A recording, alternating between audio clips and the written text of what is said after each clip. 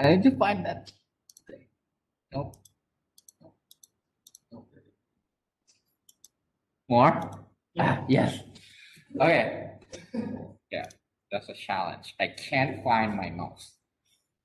Okay, so today we'll continue on from uh, uh, last Tuesdays, and thank God that uh, one of your uh, uh, one of the people who took this class before told me that the two complements might not be something we cover or you have covered before. So if you have any follow-up questions about that, please, please, please do let me know.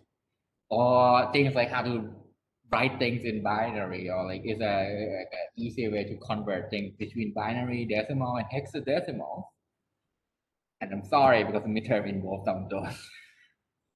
Uh, uh, we'll basically first do a recap of Tuesday, right?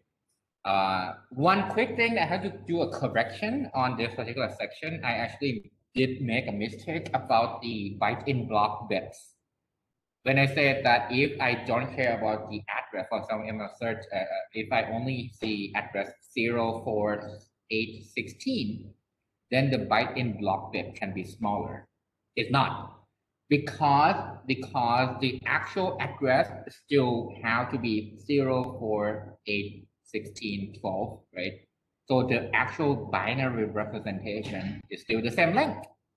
So the byte in block bit is actually log of the cache block size, right? Log of the cache block size. And we all talk about log two.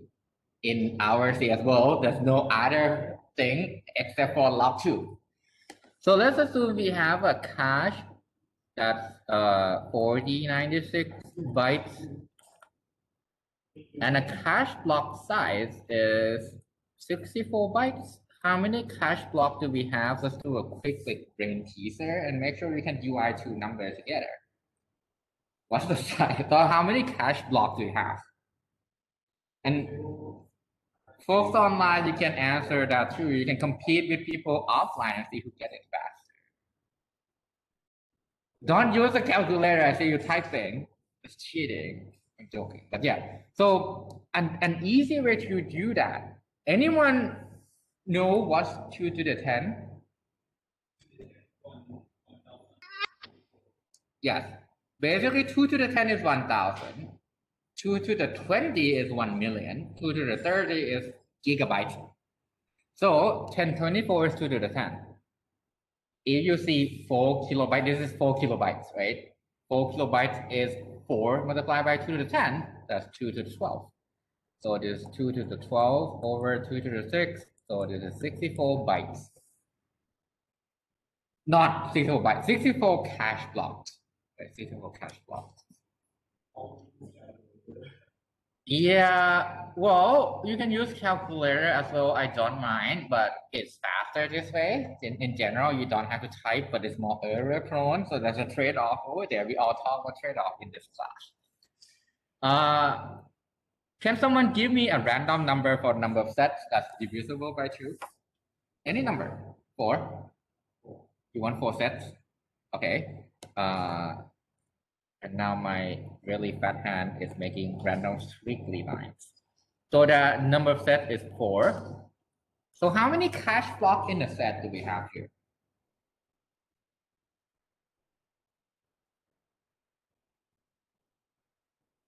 Sixteen, yeah. All right. If my address is 32 bit, right? If my address is 32 bit, a cache block size is 64 bytes. How many bits do I need to tell which byte am I, am I accessing in my in my DRAM, in my cache block? I have 64 bytes, right? So my address, the last n bit will tell which byte am I accessing. So how many bits is that? So we, I want 64 different location because each location is one byte. I want 64 different location. If I have n bits, if I have n bits, I can represent 2 to the n location. We solve this equation. How do we solve it? What do we put on both sides to actually solve for n? Log 2, right? So it's log 2 of 64 equal log 2 of n. Uh, log 2 of 2 to the n, right? Log 2 of 2 to the n. What's log 2 of 2 to the n? n, right? So n equal 6, right? So the byte in block is 6 bits. If we have four sets using the same thought process, right? If you use the same thought process, how many bits do we need for it? Yes. Byte in block. Literally, this would this bit will tell me if I have this cache block, I'm accessing this bytes. It, so if you look at this cache block, cache block is right now we assume is 64 bytes long, right? So zeroth byte, 63rd byte bytes. You can think of it as just a bunch of boxes, right? These bits in my address, this within my address will tell, okay, I'm accessing this box. Or do I access this box? Or do I access some box over here, right? So my address, right? The last six bits, right? This is byte and block will tell you exactly this is the address, so your data is here in the cache block. Now we have four sets. How many bits do we need for the index?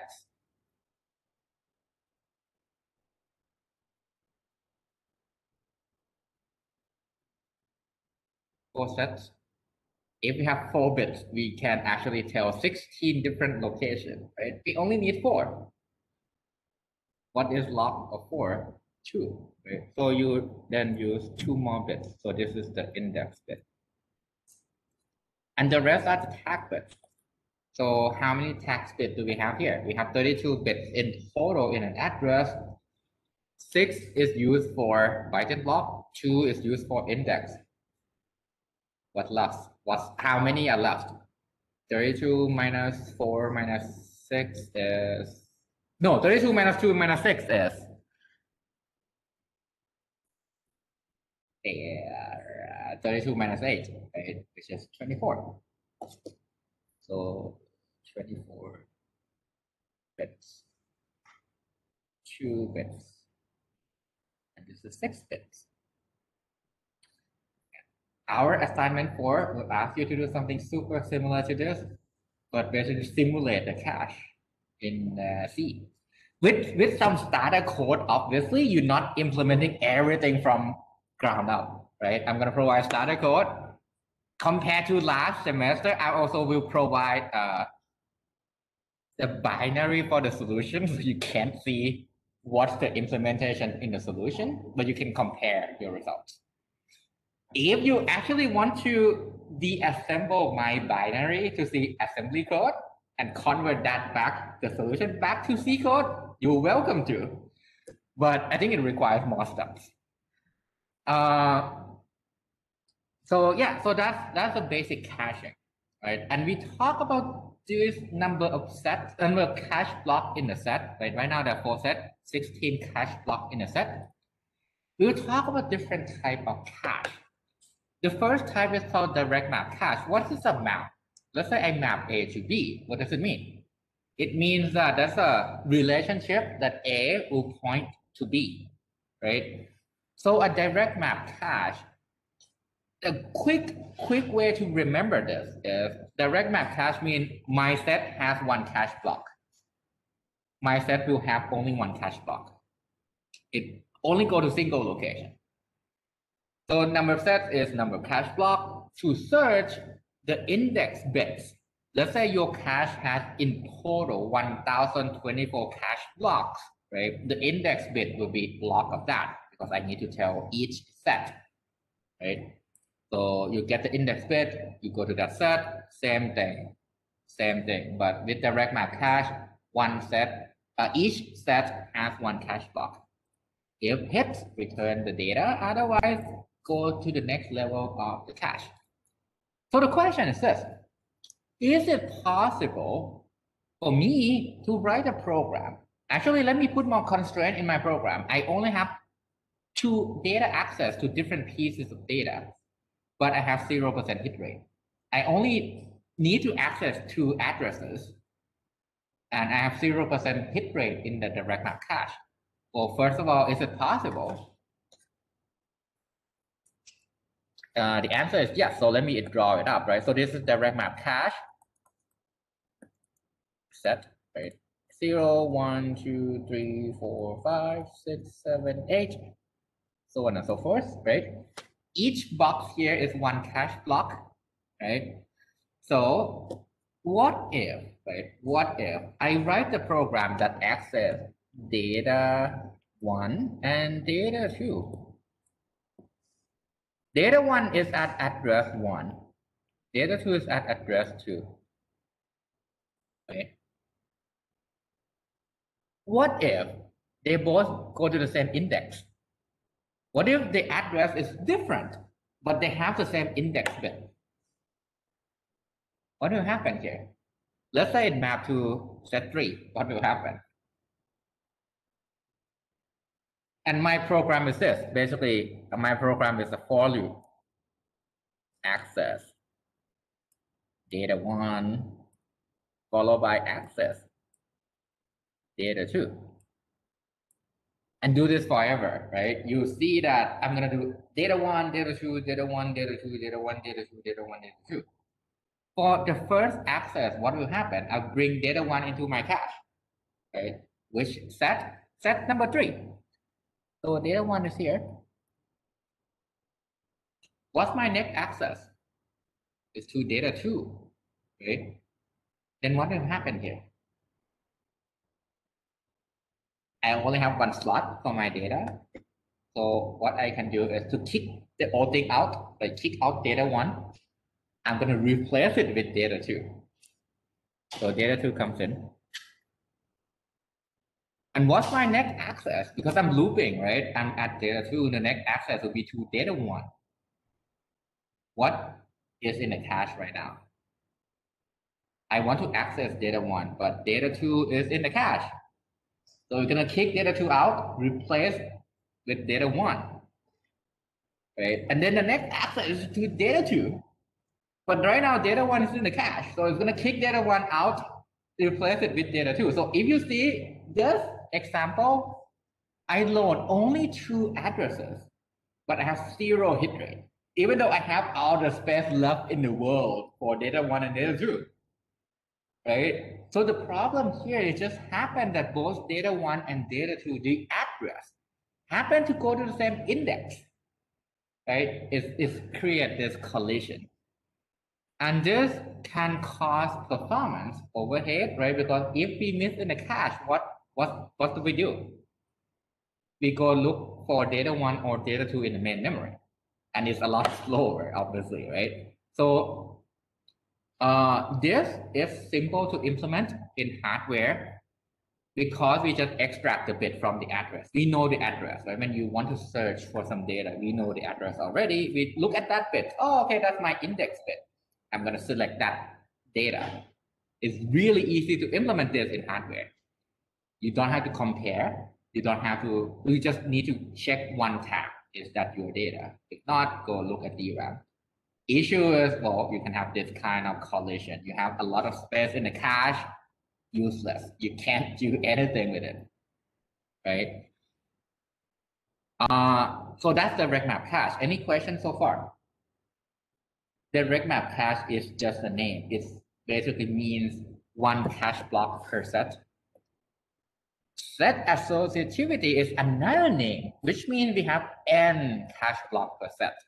So as we said, the direct map cache is, well, it's, it's simple, but it's not great, right? If everything happen to map to the same set, you have this collision and you don't have cache hits. So the solution is, well, you can send multiple cache blocks. So if you have data one and data two, and let's say your cache can now hold two cache blocks, both of them will be in the cache. Now your hit rate is 100% right? Basically now, now everything is awesome. You access data one and data two, both of them are in the cache. You never have to go to the main memory. And that's what, yes? Uh, is it guaranteed that if we have 100% of hit rate in Uh-huh, cache, uh-huh. the program will be efficient or is it depends on the, the, the design? It design, that's why you also have to look at the algorithm of the program, right? Let's say you somehow built a really convoluted program that has 100% hit rate. But the program is about 1000 times longer than another program with 0% hit rate that serves the same purpose. The other zero hit rate program might be faster, right? So it depends on how long is the program, how you implement the program, what's the algorithm that you use to implement the program. Hit rate is a good metric. Basically, you want to achieve higher hit rate. But if it comes at the cost of making the program 100 times longer, don't do it. Right? So, so basically, it's one of the trade-off in the way you program. And think of the cache as is, is something that hardware built in to make the program faster. Because even though you have a longer or shorter program, the way we design the cache is hopefully the way you, I guess, the way most human write the program, it should be in the cache.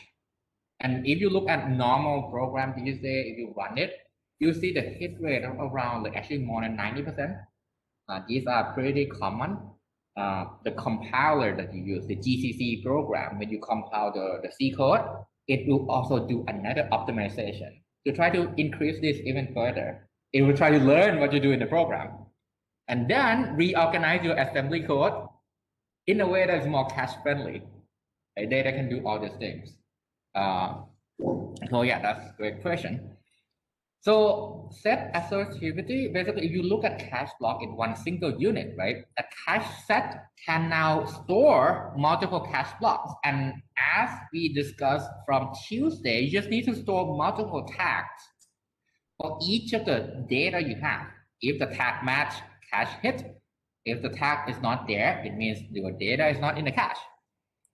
This might sound like the explanation here might sound a little bit long, but at the end of the day, n way set associative cache, it means that we have n cache block in my set. Everything else looks the same.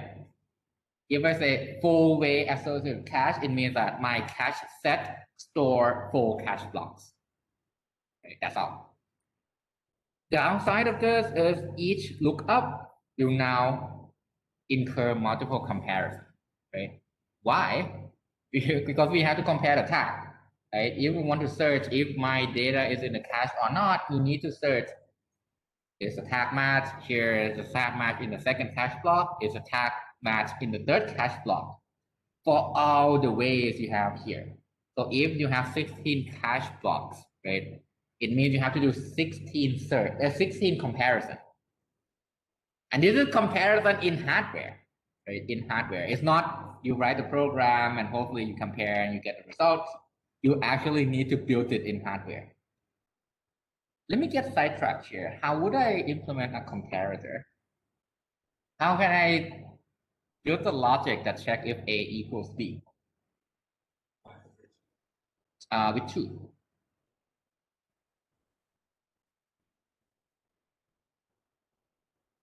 So if A equals B, there's this thing called exclusive OR, right? If they are the same, you're gonna get zero. If they are not the same, you get non-zero, and you flip that dot of it. Right? That's that's how you can compare. So that's one way you can kind of like make a comparator. So so that's why that's why in this class we also cover logic a little bit as well. These things actually translate to the circuitry that you can implement on on the computer that represent the whatever math function that you want to do. But because these are done in hardware, every time you add more transistor, it add the overhead, right? You can use it for something else. For example, you can use transistor to add more cache. Instead of having this comparator, you might want to have bigger cache. Everything is a trade-off. You have about this size of the CPU, you want to fit everything in. So you have a trade-off. What do you want to put in? Another end of the spectrum, right? You have direct map cache, one cache block per set. What will be the other end of the spectrum? It means you have one set and every cache block is in that set. You go full blown search. So it's called fully associative cache. One cache set, number of ways equal number of cache blocks. And you go and search. Yeah, the, the, the data can be in any of these cache blocks. And basically, it means you have to do a lot of search, right? And yeah, uh, implementing a search in hardware is, is actually everything come at a, a actual physical cost. So this thing can be a little bit more costly than uh, set associative cache. So whatever you want to put in your chip, everything comes with a cost trade-off, right? You don't want to sell a processor that's cost like, I don't know, uh, 100,000 baht. No one will buy that. It's too, too, too costly, right? Unless it's somehow like magically 1,000 times faster. Otherwise, you're not going to sell that chip. All right, so we talk about set associativity. Now, we also talk about the case where we have data coming in and want to use the cache. It means that you have to pick what to kick out, right? For example, this room only holds 30 people. If I have 31 students, I have to select who get to go out of the room. I might be just walking out, right, to make 30, and then you guys would like, there's no lecturer. But the same concept applies to caching. If there are more students than the shares here, someone will have to stand, which is bad, right? But someone will have to make that decision, and that's for cache eviction, who get evicted, and cache insertion, when you bring data in, how much priority I'm going to give to that new piece of data. So now we're going to move on to the question of how do we insert or replace the data. And we're going to go over the, the simplest one first, the direct map cache. We just replace the block we, the, the, the cache block that we map to. The only option, one cache block, add a new cache block, I'm going to kick the old thing out, right? So this should be, any question about this? Okay, so if you have a set associative cache, which is actually very common in everyone's computer, right now you're looking at four-way or 16-way cache on all your CPU. Uh, it means you have a choice, right? And you don't want to be an asshole that pick the wrong person and make your computer slow. You want to basically decide a policy that is the best, right? So now it's uh, the question of what's the best. And there are generally three key things that you have to consider. When you bring data in, we call that insertion. We insert data into my cache. Do we promote them? How are you going to assign priority to that new data? Promotion means that when I access the data in a cache, do I update their priority? Replacement or eviction means which one do I kick out? So the first thing we're going to consider is eviction the replacement policy, right? When the cache is full, you need to actually kick something out. It's like when the room is out, like when everyone take out the share and the new student come in to this room, I need to figure out who has to stand, right? Who has to stand to listen to the lecture because we ran out of chairs. So the same thing applies here. Uh, this is called cache replacement policy and because these are design decisions, you can actually apply many, many things. For example, you can randomly pick, which might not be bad, right? We would randomly pick and hopefully you get better cache hit. You can do first in, first out, something like a queue, right? If you use the cache first, you get kicked out first. You can do what we call least recently used. Basically, you check every block in my cache set, basically check every block block and see when did you access the data? When did you when did the program access that data? When did the program access that data? And pick the oldest one because you haven't used that data in a while. So your assumption would be if you're not using that data for a while, maybe it's out of that loop already. So you no longer need that data. So I'm going to kick that out least frequently used is more like I want more cache hit, right? So if I know that data is not accessed often, I'm going to kick it out. I use the same room of one cache block, but it generates fewer cache hits. So I'm going to kick that out. Uh, you can use like hybrid policies. And the question is, what would be the optimal policy? The optimal policy we talk toward the end but the requirement for the optimal policy is actually black magic. you need to predict the future. So if you have the ability to predict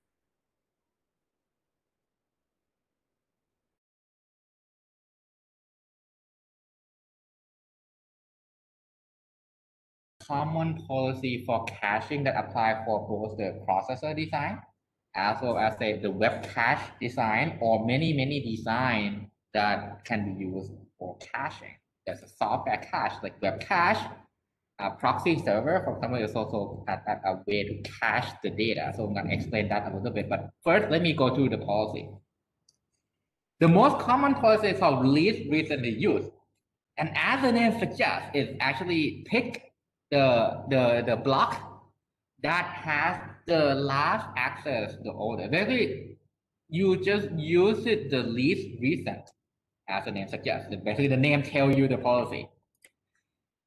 This is based on how we program, based on two things, temporal and spatial locality.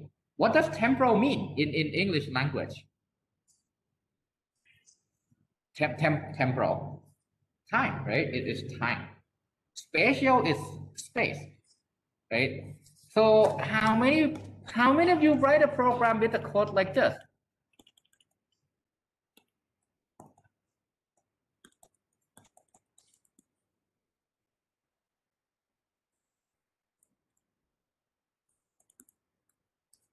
Something like this.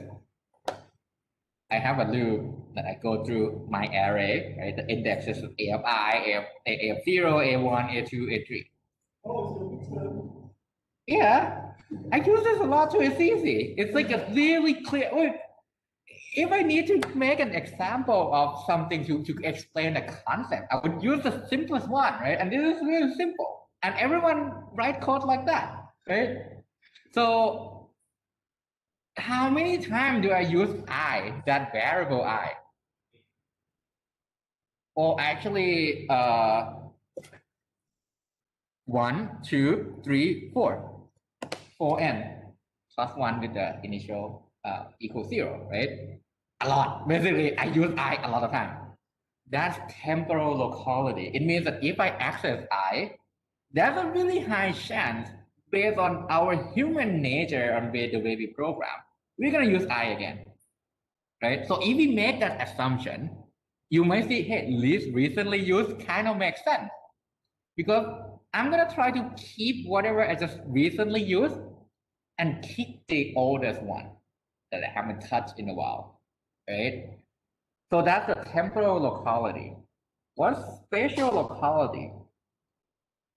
I when I access A0, what's my next access that I'm depending on A? I would then do A1, A2, A3, A4, right? So it means that if I access these data, I'm going, I'm likely to access the one next to it, followed by the one next to it, followed by the one next to it. That's called spatial locality. When you're looping, which is actually the majority of most programs in this world, it exhibits that behavior, right? So remember A, AI? How big is AI if, if that's an integer? Four bytes, right? Four bytes. How big is my cache block? 64 or 32. So if I bring in A0, it means that I actually bring in A1, A2, A3, A4, A5, A6, A7, right? If that's 32 byte cache block, if it's 64, it's up to A15.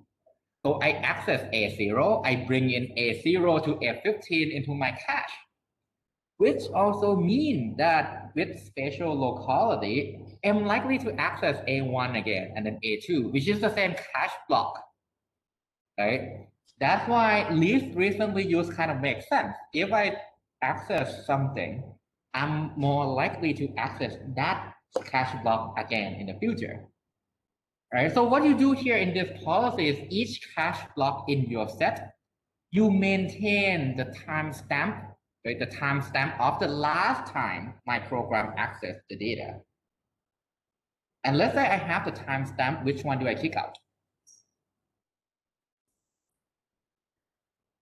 The oldest one, right? Because I haven't touched that block in a while. So I kick the oldest one out And whenever I have access to something in the cache, I will update the timestamp, right? To make sure the one that you just recently used get the new timestamp. That way you know which one is the oldest, which one should be kicked out. And if I have new access, you can update the timestamp. So is it clear so far on the policy side? So yeah, benefit is this is likely effective based on how human program, right? I'm not talking about like genetic algorithm where you have computer generating a program. If you have human generating a program, it's likely effective. The problem, uh, basically now I'm gonna put the hardware guy hat, right? From the software point of view, this makes sense. And this is awesome if you have to build this in hardware, what do you have to maintain? You need that timestamp, right? You need to kind of figure out when is the last time I accessed this block. So that can be costly. Then it means I have to search. I have to actually do a quick sort or merge sort, actually any kind of sorting algorithm to compare and sort all my cache block based on the timestamp, right? How long does it take you to implement merge sort? No, as in actual time, like human time for, for our assignment. You don't remember. It's quite a while, right? To, to actually get it correctly. Yeah, let's do that in hardware using logic gates, right? So it is it's actually as you have number of blocks in the set from 8 to 16 to 32, it's more complicated. Right? It's really a lot more complicated to put all those transistors and organize it so that it's proper sorting algorithm. Right? So this actually costs a lot in hardware. So basically, if you buy a processor these days, you will get an approximation of this policy. Right?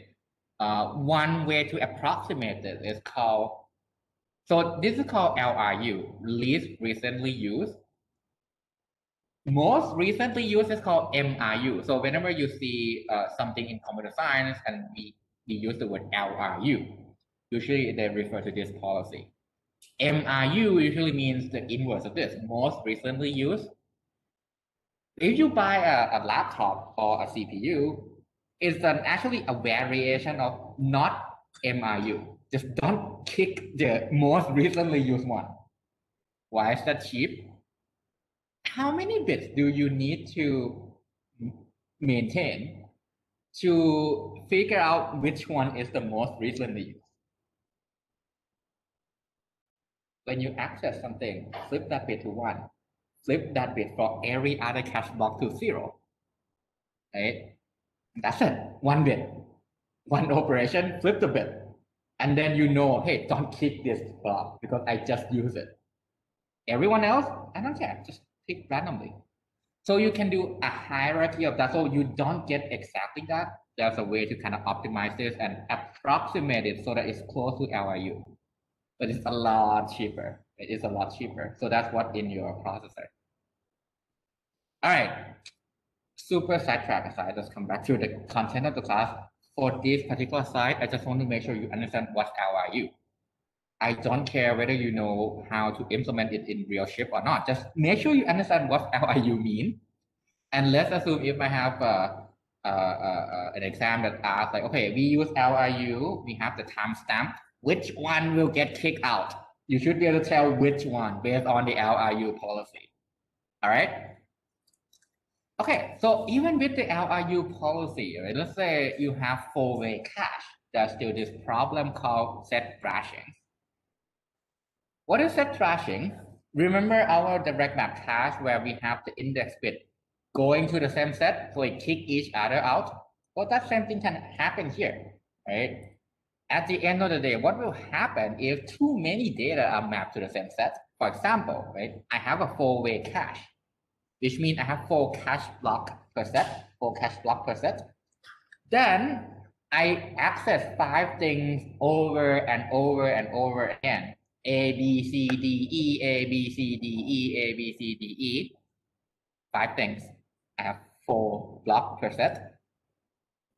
Something like this. I access A, A is in the cache. I access B, B is in the cache. I access C and D. The next access is E.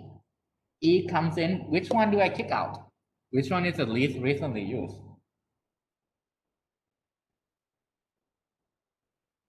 Between A, B, C, and D, which one is the oldest? A, right? So E comes in, replace A. Cache miss, right?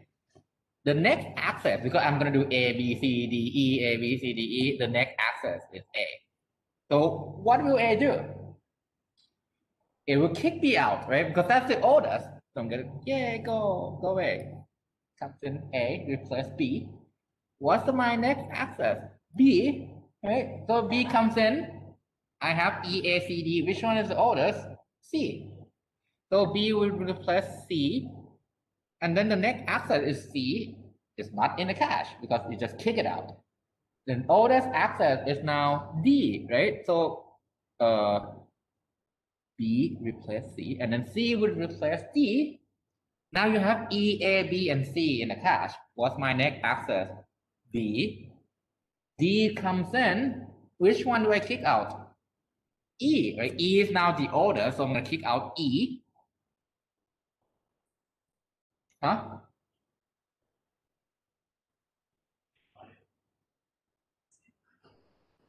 Uh, what, what are you saying? Basically, can I do five access? Yeah, it will be like this forever. If you, okay, this is assumption. You use LRU. If you use LRU and you have five access, happen to map to the same set, and you have four ways, it will be like this, okay? Because we just don't have the room, and this is called thrashing. Thrashing is kind of like as the name suggests, I throw things away, I trash it. So set trashing, it means that this set trash by the way you access the data. And over here, four way, 0% cache hit. I don't, none of these access are in the cache, right? So in this case, LRU become ineffective because 0%.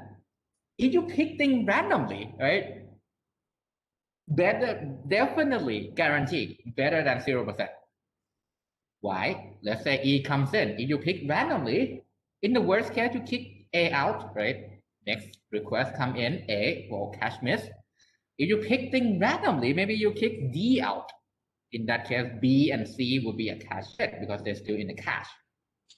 Right? So, so if you have something like this, you might want to do something just random policy. Right? So there's no kind of like best size fits all, right? There's no perfect solution for uh, the policy.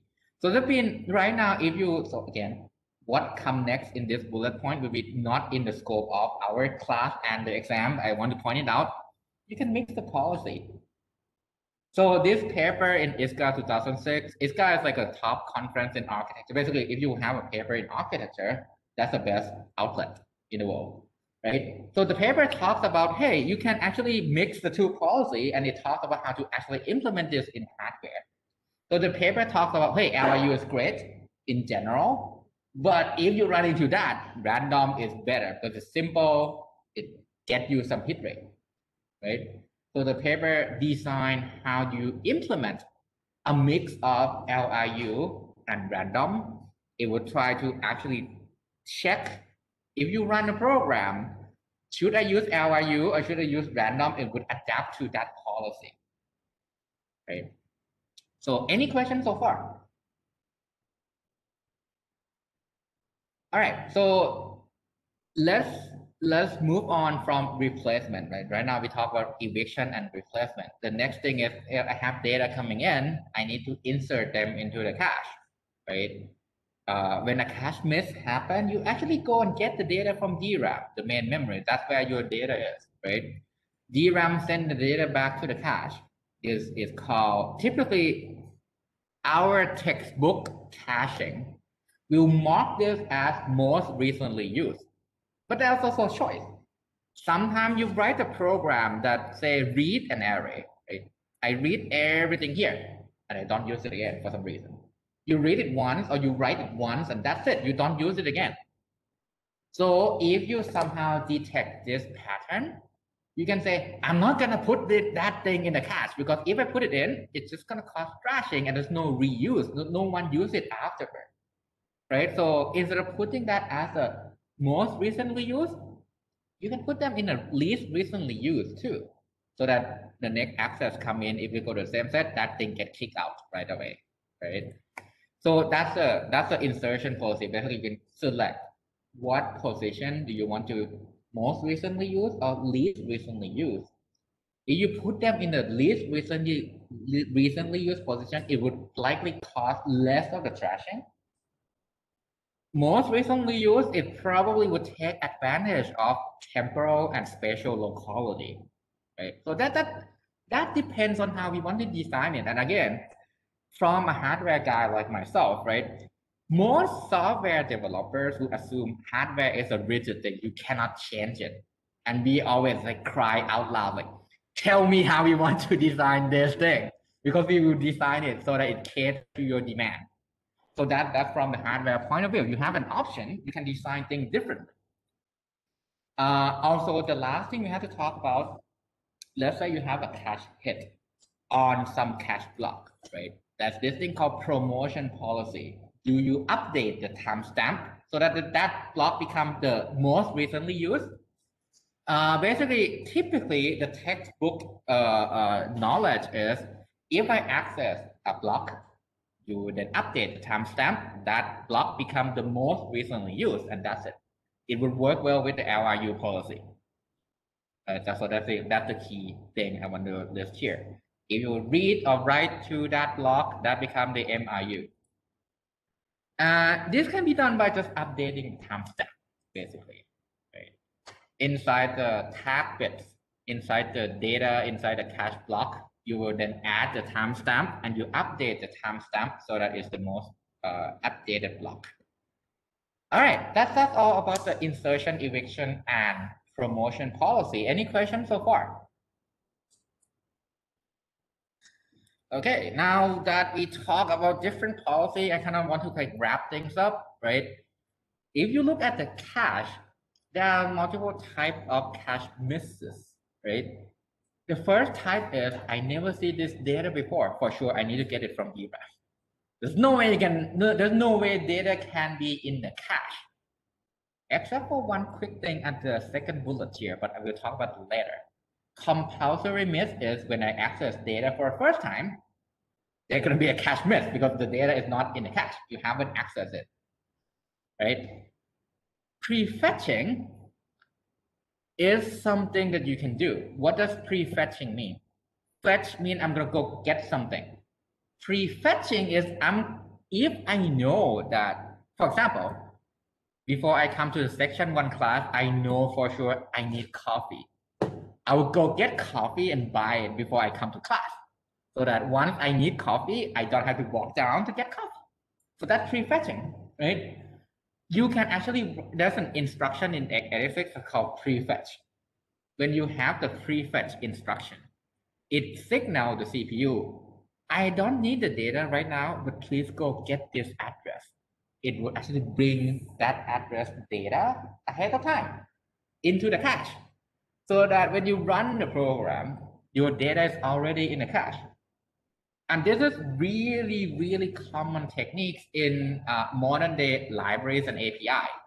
For example, if you use uh, PyTorch or TensorFlow to train machine learning model, there'll be pre, a lot of prefetching that would move data from your CPU all the way to the GPU, so that when you launch the GPU, data is already there right? So this is a really get it actually get more and more common, and this is a, a, a technique that can really speed up things by quite a lot, right? Back to our again, I, I love getting sidetracked, but back to the concept of this class, compulsory miss means I never see that data before, so it's gonna be a cache miss. Conflict miss is data is going to the same set, so they're gonna kick each other out, right? I have four cache block per set. I have 10 data going to that set. That 10 data will have to compete for the slot. Right? So that's conflict miss. That's why we call it conflict miss because you have conflict. Yes? If, if there is a conflict uh, Yeah. missing in the cache, Yes. will, will the, the program will turn will turn or stop running? No, it's one stop running. Basically, if there's a conflict miss, what does it mean? You have a cache miss. You go kick some data out to DRAM. Because at the end of the day, every single piece of your data will be in DRAM. Caching is basically we bring some of those data to this faster DRAM. It's actually SRAM, but yeah, faster memory. So that when you need the data, it takes shorter time. But that cache is a lot smaller than DRAM. So sometimes you have to select what goes into the cache. It won't crash your program, right? So uh, for folks online, basically the question is if you have conflict miss, will it crash your program? No, it just reduce the performance of the program. So instead of running it and you finish in one minute, it might be one minute and 10 seconds, one minute and 20 seconds. Another example, uh, your machine, right, have four gigabyte of DRAM. And one thing I, I, I told you is basically when you run out of memory, DRAM become a cache for hard drive. So you actually kick some data out from DRAM, move it to your hard disk. The problem is hard disk is about thousand times slower than DRAM. So if that's the case, right, you have conflict miss, you kick data out to hard disk. If you have cache miss, in this case we call page fault, right, data is not in DRAM, then you have to spend 1000 times longer just to access that piece of data in hard drive. Actually, that's why your computer sometimes when you run out of memory, it gets so slow, right? Because you instead of going to DRAM, you ended up going to memory uh, hard disk. Yeah. But it won't crash. The thing is, it won't crash your computer, right? It actually won't crash. You keep running. You think it's stalling. It is like hanging. It's actually not hanging. It will finish eventually. That eventually is a really long time after you expect them to stop. All right, so that's conflict miss, right? Uh, capacity miss is well, you actually run out of. Actually, let me correct what I said earlier. In your case, when you have four gigabyte of DRAM, it's not because of conflict miss, it's because of capacity miss. You ended up with no more space left to cache. Capacity miss mean, well, I have more data than my cache space, so I need to keep something. The difference between conflict and capacity miss is conflict miss can happen even though you have space in the cache. Just because they go to the same set, they can kick each other out. There might be some other set that no one uses. Right? It depends on how you write the program. So these things can impact performance. So when we talk about performance, let's, let's talk about how to measure performance, right? Because this is actually one of the key messages here. When you write a program, this can uh, make or break the program, right? You don't want the program to be running so slow that say, I ran into, for example, I ran into one of the uh, government agency uh, that maintains some database and they were showing some database to me by querying that set of data. The query means that I put in command so that they would give me a huge chunk of data based on what I'm, I want to filter out uh, filter in. Basically, for example, I want to search the database by the uh, people who born between I don't know 2,530 to 2,510. It would give the list of those people, right? And that one query take about one hour. so, I mean, you can write a program like that too basically you have no clue about caching and everything you do is going to the disk. And yes, it will be long, right? But if you know how to measure performance, if you know how to optimize your program, you can make it hopefully when you query it take a few minutes instead of a few hours. Uh, I don't want to do a lunch break whenever I do one query. Right? That's just not a functioning government uh, not a functioning like way to manage certain data in a in a workplace. So come back to our concept here. How do we measure performance? You can look at cache hit or miss rate, right? There's a one obvious uh, uh, metric. Uh, If I have a program with higher hit rate, I would expect them to be faster because they go to the cache more often, right? The cost of each hit or miss is uh, also important. For example, if you have older processor, they might say, hey, uh, L2 cache would take 15 cycles. L1 cache take five cycles. This will be slower than another processor that say L2 cache take 10 cycles. L1 cache take three cycles. It's just simply faster, right? The cache is simply faster. So that can impact performance as well. Uh, and, so this is maybe why newer generation of CPU can be a little bit faster. They have faster cache, they have faster CPU. Total cost of one single data access is also can impact performance, right? What is the average time? Whenever I talk about latency, it's basically average amount of time that I have to spend in terms of cycles or in terms of nanoseconds to get my data.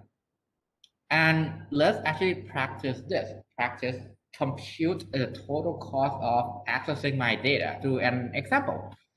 Example one, assume uh, L1 cache take two cycles, L2 cache take five cycles, DRAM take 25 cycles. And in total, I have 1000 data access. A load means I read something from DRAM. So I have 100 loads. I want to access data 100 times. And let's assume L1 hit rate is 80%, L2 hit rate is 80%. How many cycles it would take for me to finish all this thing?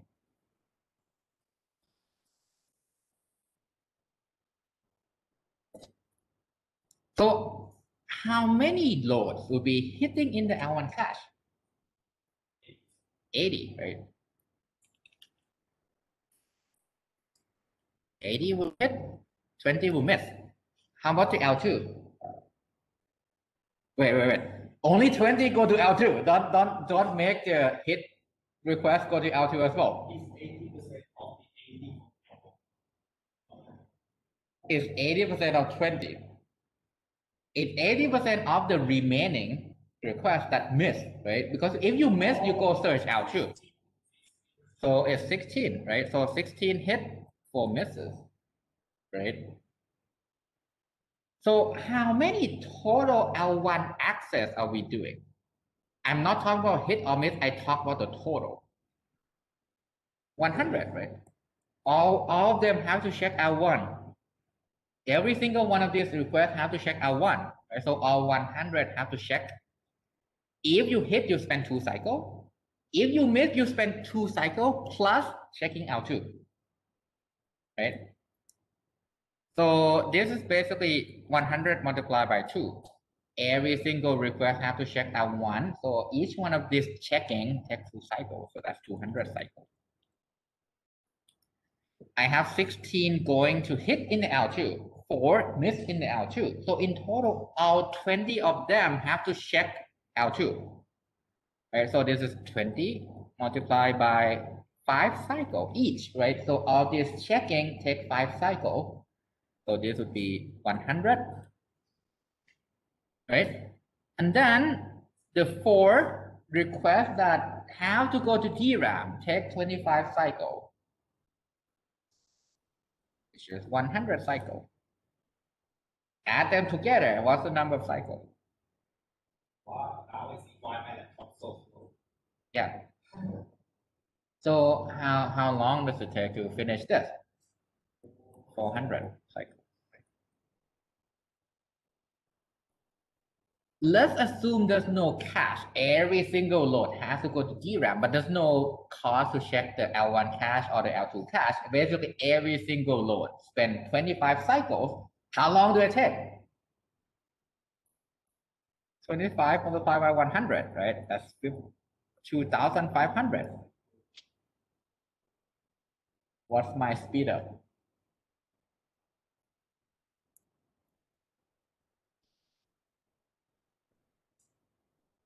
right? It's a lot faster with the cache.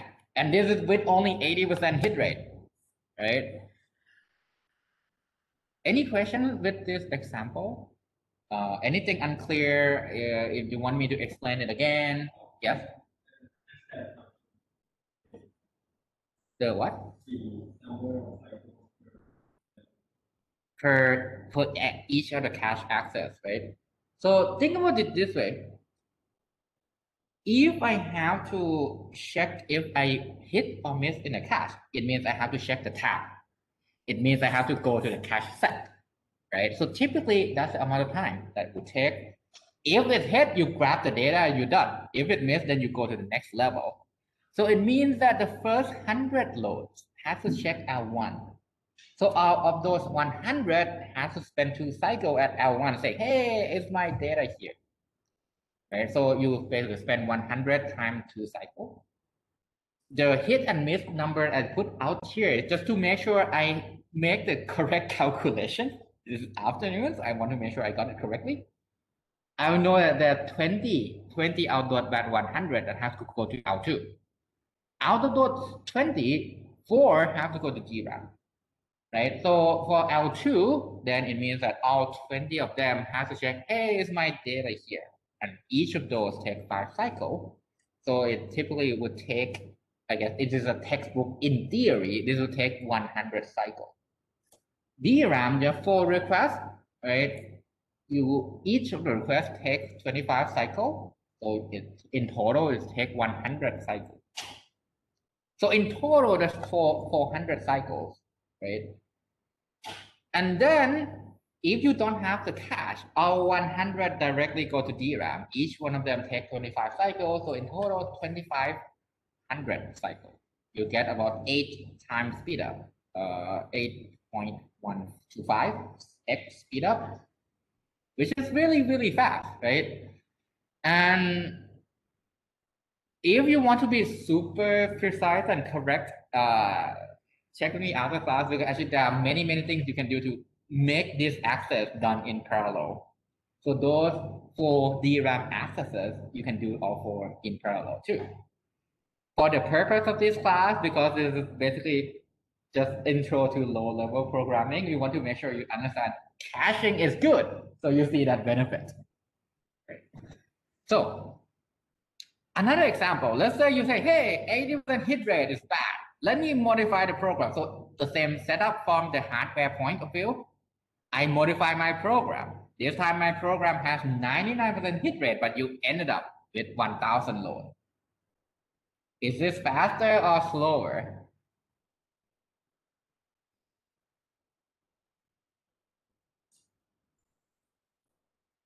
So you have to go uh, or 1000, you have to go to L1 cache, right? This is 2000 cycle. How many have to go to L2? What's the 1% of 1000? 10, right? So 10 of them go to L2, that's 50 more cycle. And what's the 20% of 10?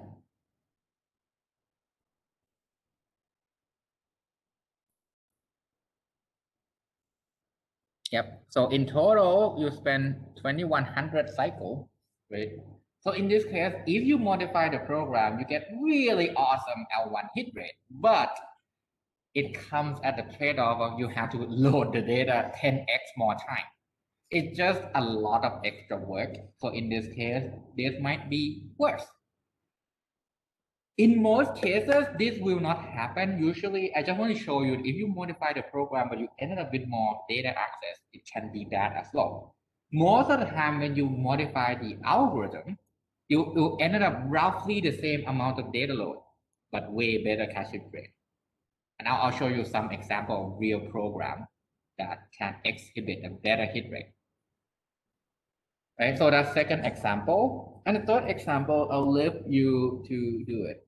So that's the, everything is the same for the hardware side, uh, but the program 10 loads, 50% hit rate for the L1, 40 for L2, and I will also do the calculation because I forgot the answer already.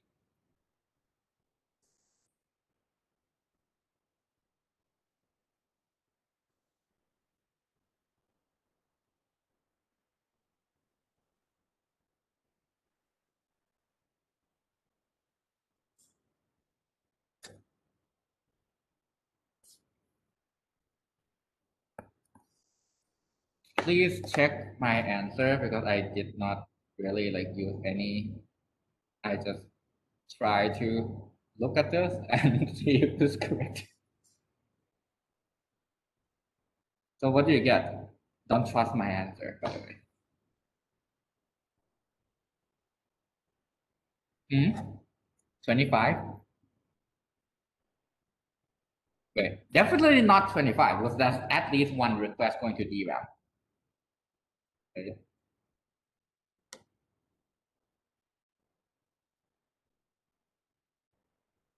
So 20 here, right? 95, maybe. Let, let's actually try this together. 95, okay. So 10 go here, so that's 20 cycle here. Uh, 50% hit rate. So out of those 10, 5 will go to the L2. So that's 25 cycle, right? Out of those 5, out of those 5, hit rate is 40%. So 3 of them go to DRAM.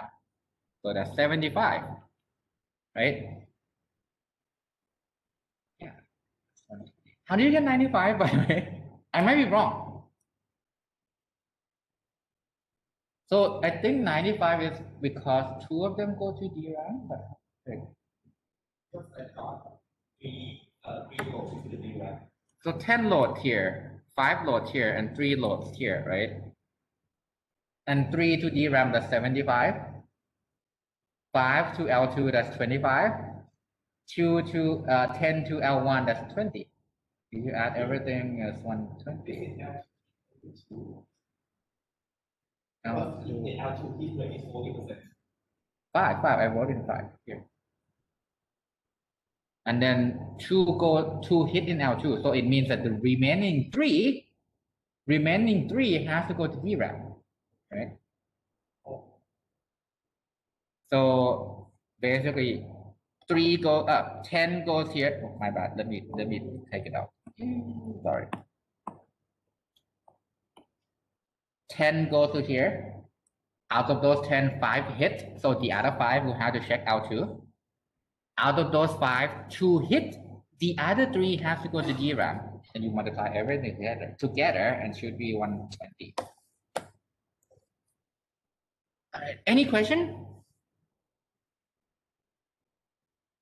Okay, so if you yes, So, so we calculate, we not just calculate for the, the one that so actually that's a great question. For the purpose of this class, yes, that's what we will assume. If you implement this in real life, there are some small optimization you can do. So when you check, it takes less time. Instead of two cycles, it might be one cycle, but you have to spend time checking. Everything you do in hardware is not come for free. Let's say the L2 cache, if you want to access in real life, it might take 11 cycles. Checking that, it might take two cycles to check the tag if my data is there. If it's there, then I'm going to bring the data in. The actual part that brings the data in takes longer. So in reality, this would be shorter. In reality, this would be shorter. It would be less time for the purpose of this class, I just want to make sure you understand that the first thing you have to do is check the cache, and that also consumes some amount of time. And hopefully you hit in the cache, right? So in general, this is the key message for the class. So if you want to write fast program that hit a lot in the cache, what can you do? Obviously, you can reduce miss, miss rate change the way you access the data. For example, if you have to loop over a large range of data, how? For example, if we want to multiply our uh, matrix A and matrix B, and let's say your cache is about that big, that's the size of your cache. If I multiply the entire thing, it would kick each other out in a cache, right? There's no way that thing would fit in my cache. What can you do is I can then break down A and B into smaller metrics, divide and conquer, right?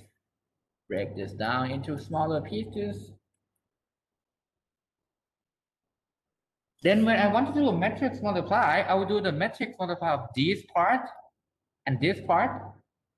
Those two fit in a cache. It means that whatever I do over there would be cache hits. Once I'm done, I'm gonna multiply this with this, right? Again, those two smaller blocks will, will fit in the cache faster. And then this with this. Again, both of those two blocks fit in the cache. I mean, I don't care about the earlier block because I'm done. But for those two blocks, I'm computing it right now. So they fit in the cache again faster. So you can do this and this. Then you go to the next column. So this again, but now with this. And then this array eh, with this.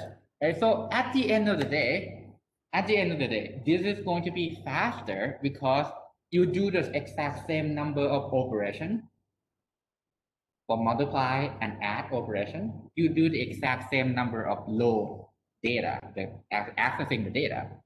But now your data access will fit in the cache. So you have way more cache hits, way faster program, right?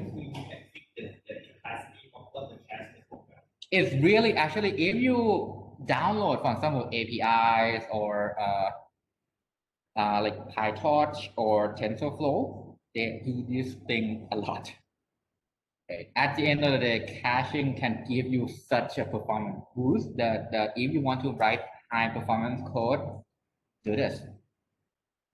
Uh, you can reduce the number of memory accesses if you're in an algorithm class, one of the things that they would care about is the complexity of your algorithm. For example, the merge sort that we do, that's O of n log n. Let's say n is the size of your array. It would have to do n log n operation. Another thing that algorithm class would focus on is what's the memory size, what's the memory overhead. So this can impact performance as well. So we can reduce the number of access to the main memory. Why do we care so much about that? One memory access is 50 cycle, one add is one. 50%, uh, 50 times worse, right? So this also can make program a lot faster. Uh, what else? If you download modern libraries to do certain things like this API or like this uh, cool new uh, library that is available and you want to try, what they would do is typically to squeeze out performance, the programmer that designed this API would actually send the command to check what's your processor.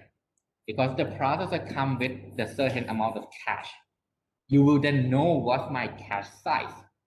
Then they will break down the program based on that size so that whatever you do in the program, it hopefully hit in the cache then you rarely have to go to the main memory. So that's one thing you can do. There are many, many things that you can optimize to improve the cache hit rate and decrease the number of memory accesses.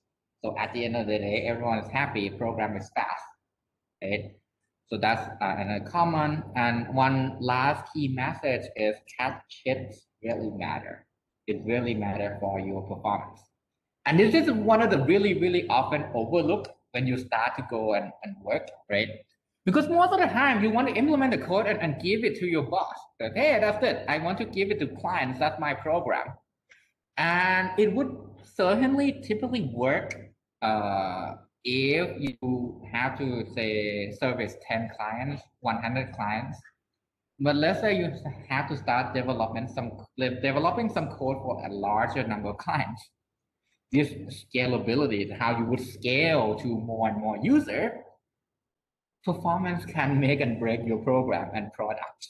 Right. So this is some of the things that I really want you to keep uh, basically aware of when, when you develop your own software. Uh, but, but don't be too aware of it to the point that you don't finish your program. Make sure you deliver your program, but this can impact performance. All right, so these are uh, the the rest of these are like partially comp arch material. So these are good to know. Will not be on the exam. Good to know for the extra credit part of your uh, assignment four.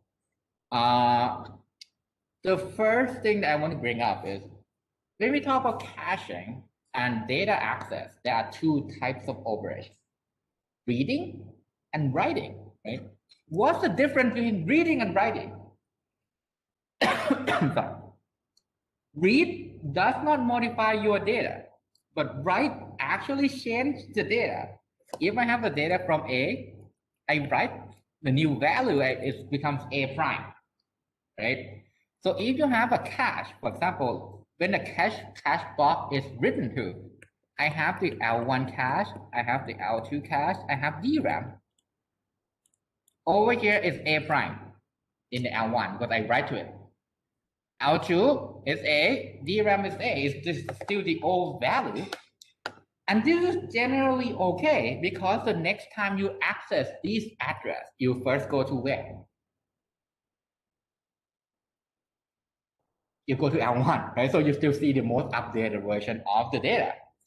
But at the end of the day, let's say after running for a while, you have to make sure DRAM has A prime and also L2 has A prime right? Make sure that this address has the most updated copy of the data. This is how you can handle writes, right? So a general idea is at some point you need to make sure all of this takes a prime. Uh, otherwise, otherwise data to the same address will have different value. And some of them will be the old value, which is bad, right? If you have five, uh, four processor, one processor has the updated value, the other processor still want to get the data is in DRAM, well, you access the old version of the data. So this can become the problem with multi-core processor. It's something you have to actually eventually figure out what to do with it. And easier, the most trivial method is for the first policy we call it write through. If you have write, let's say you change from A to A prime, write it everywhere. Write it at the L1, change it at the L2, change it in DRAM. This guarantee, this would guarantee that everyone will see the same version of the data across the hierarchy, right? But this is also bandwidth intensive because every time you write, you write to L2, you also write to DRAM. It's a lot. What if my operation change from A, then to A prime, and then to A double prime, then to A triple prime? It means that every time I change it, I have to write to DRAM. And as we established, writing, accessing DRAM takes some time. So if I have to do that three writes, it will spend some time in DRAM, right? And if I know this is a short burst of time when no one accessed it except for that processor, you just stage them, right? Because at the end of the day, you just need to write a triple prime to DRAM at the end of the day, you just have to update with the newest version of the data. So if you remember our cache eviction policy, like our eviction policy, we kick some data out. If you kick some data out, there, there are two things you can do. If you don't change the data out, if you don't modify the data, you can just throw the data away because L2 have my data already. It's already A, right? It's the correct data. So you throw it away. Or if you modify the content, write it back to L2. So you know that a triple prime is now the updated version of the data. This is called write back. Basically, you write and update the data whenever eviction happens. Whenever you kick the data out of this level of the cache, you write this updated value in the next level so they have the most updated version of the data. And this is also guarantee correctness because eventually once you kick that out of L2, DRAM will have a triple prime. So eventually DRAM will have the correct value, right? This saves some bandwidth, saves some energy, and actually this is the default policy that most of your computer are doing. Uh, any questions about this? So remember our dirty bits, right? If you write to the data, we'll set dirty bit to one. It means that someone write this data. If I kick this block out, write it back to L2, write it back to DRAM. That's all. All right, so that's the first part I kind of want to cover because the assignment four will ask you to write, basically write that simulation for a cache, some something basic. And I'll have, I'll have a starter code. And you then imitate the, the property of the cache. You have insertion, you have access. you have eviction and make sure you do everything properly based on the index bits and tag bits, right? And then the extra credit part is, what if you have writes? You modify the data. How would you actually write this back to L2 and DRAM? And one, uh, a few more things that I want you to consider. Uh, there are many ways to design a cache. The processor that you have is not actually implemented the same way we explained in this class. It's actually a little bit better. We optimize the cache based on how you run the program. So Intel and AMD would apply a variation of the LRU policy to hopefully make it faster and it consume less energy. So these things can impact performance. Energy can impact, say, your phone. You want to make sure they last one day rather than one hour. Right? So you want to save energy. Uh, you can also write the cache to support compressed data. So instead of 64 bytes, you can now store 256 bytes worth of data in one cache block. So this is possible. Uh, follow up from your question about can we access DRAM in parallel, right? You can do that on uh, the cache and also DRAM. Why? Because if you look at modern processor, it is what we do. Again, this is outside the scope of this class. I want to tell you some story about your current CPU that you buy. You look at assembly code, right? And you know that, hey, it's going to run line by line by line by line. First line, second line, third line, fourth line, fifth line. In modern processor, the CPU actually get like 10, 15, 20 lines at the same time. And it will then figure out which line should I run first to make sure the performance is as high as possible. Some lines you can you can run right away. Some other lines you have to wait because you wait for the data produced by earlier assembly code. You add and the result of the add is used for the subtract, for example. Right? So you have the subtract has to wait for the add. Processor would grab right now usually 256 lines at the same time and figure all this out and it would issue whatever lines you can run. And days you can issue multiple lines at a time. So you can end up with multiple access to both the cache and DRAM.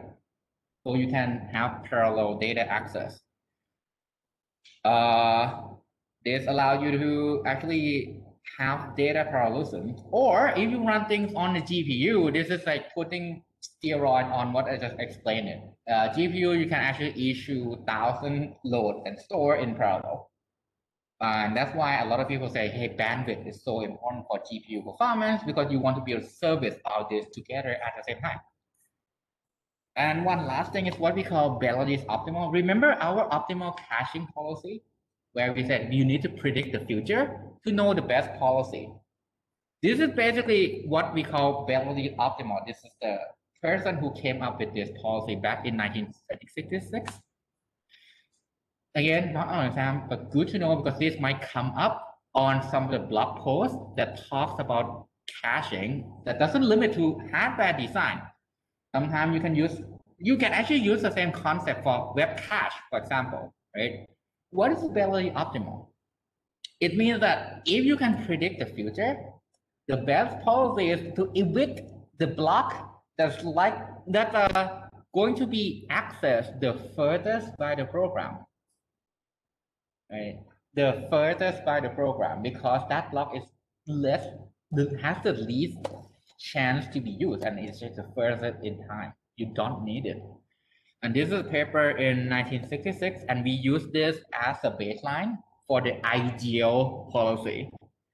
In well, you need to predict the future. It's impossible to implement, right? So we can actually check whether our policy that we design, how close is that to Belady's optimal. If it's close, yeah, we got a really good policy. We should maybe actually try it out on a real ship, right? And now that before we leave today uh, in class exercise nine, but since I talk about web cache, let me talk a little bit about say how your Google Chrome make web access faster. Okay. For example, I'm not sure why you are, oh no, but yeah. Uh, for example, you basically, when you use Google Chrome, right, you access some data from the server, server far away. For example, if you go to uh, Facebook, it will check with the Facebook server. Facebook server will say, okay, that's your that's the data that you are requesting to send the HTML page, plus any data related to that, your friend's image that they just post, the news information that uh, should be shown on the news feed, right? This will be forwarded to your computer so that you can display it on Chrome. The way to minimize the packet transfer between your computer and the server is web cache will store this data locally on your computer. The program is written to behave that way. It basically stores data locally so that you can access things. One thing you might have realized if you use Facebook, right? If somehow your internet gets disconnected, you can still browse news feed for a little bit. It won't be the full news feed, but some data are still there because your computer store those temporary data in the web cache. Uh, a storage server, like a like basically Amazon server or Facebook server, will also do caching on your uh, on on their data as well. Ever imagine what if I want to access the data that's hosted in the US? Basically, this is literally go across the earth, right? This is about like halfway through if you go around the earth, uh, really far. What this big cluster of computer would do is they would migrate some of this information across the, the earth. Some of the data might be in Singapore, might be in Hong Kong, might be in China, which will be in that firewall, uh, might be in uh, India, right? So when you access these data, it's going to the US server to then get redirected to Singapore, which is a lot faster. This is also a form of caching. You cache this data to somewhere close by. right? So that when you need the data, it's there, it's a lot closer. You don't have to fly all the way to the US to get my data. You just have to go to Singapore, which hopefully is faster, right? And if say server, Singapore server is down, then you can access the, the Hong Kong server, the Japan server, Korea server, right? So these things, these caching techniques uh, provide much, much better uh, access. Also can be kind of utilized for reliability as well. If your data is not there, you can access some other server. So, so you can apply the concept we learned today for a software or, or how you manage the data across uh, multiple server. And basically that's it for today. Uh, so we have in class many, many in class exercise, and I believe you might be working on assignment too. Uh, and I, I mean, I totally don't mind if you finish in class later until the end of the, the semester, right? So now we have up to exercise nine. If you have any questions related to assignments or in class, let me know. If you have questions related to exam, no, don't let me know right now because you still have the chance to redo that. Yes? Hmm? Three is not out. It will be out tonight. And hopefully it's fun and exciting. I like assignment three. It's actually not bad. But when I say that, it's always turned bad, so I don't know. Uh, yeah. Yes.